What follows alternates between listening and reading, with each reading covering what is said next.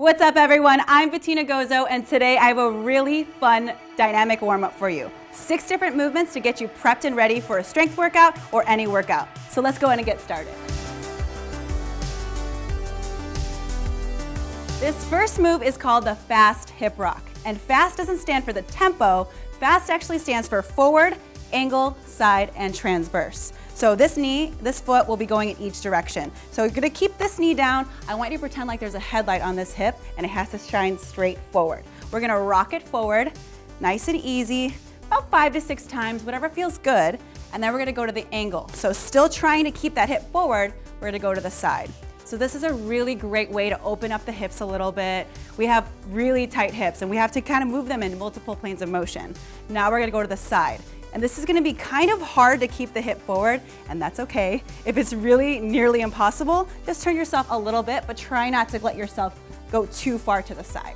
Try to keep your chest forward as much as you can.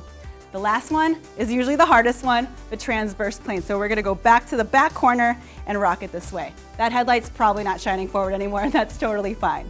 So we're gonna move through this, and then we'll go to the other side. So take it here, same thing, half kneeling forward, nice and easy, about five to six each direction. We'll go to the side, nice and easy, and then go to the here, and then back corner, in the transverse plane.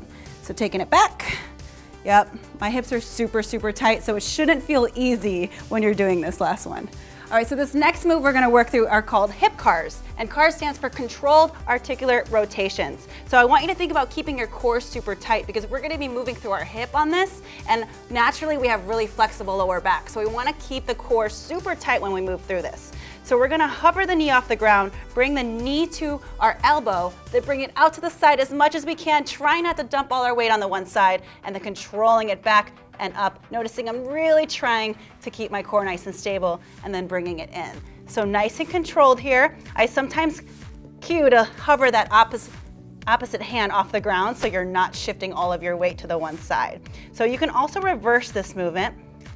And this is one of my favorite movements because it builds not only mobility, but a lot of stability. So go ahead and move to the other side.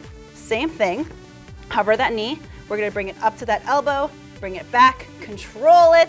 Try not to let that lower back move too much. And naturally, our lower backs will wanna move, but just really focus on keeping the core tight. It's okay if it moves a little bit, just don't make it too much.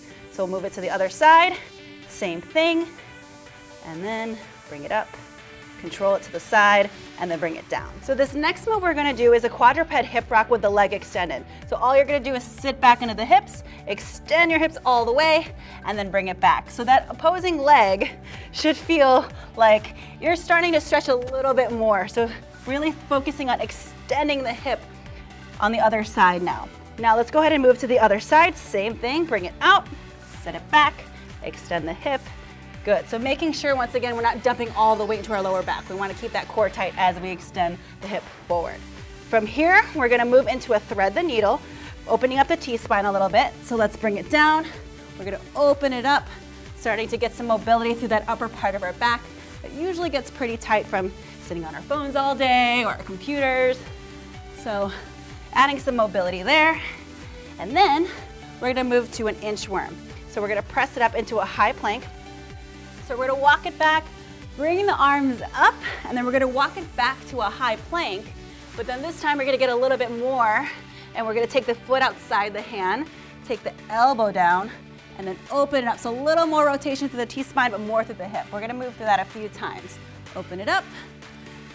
And if you need to drop the knee on this, it feels more comfortable, go for it. Remember, we're just warming up. And then we're gonna go ahead and walk it back into that inchworm, Bring it back, reach it up nice and high, and then we're gonna do the other side, same thing. Walk it out, high plank, take the foot outside the hand, take it down, open it up. We'll move it three times here. Take it down, open it up, and then we have one more move after this. All right, let's walk it back. So now we're gonna do a little more stability through our legs. So we're gonna take it to a lateral lunge, and then we're gonna drive the leg up. So we're firing up those stabilizers in our ankles now. Up, we'll take it a few more here. Good, two more on this side. And if you need to modify, you can always step it to the side, step it here, then step it up. Let's go and take it to the other side. Step it to the side and then drive that leg up. So this side is usually weaker for me, so it's totally fine if you want to adjust and step it to the side. Because then you, sometimes you need to fire up the ankles a little bit more, it needs a little more time, and that's totally okay. All right, last one. All right, remember you can do this before a strength workout, any sort of workout. Just take your time with it and really get that body warmed up.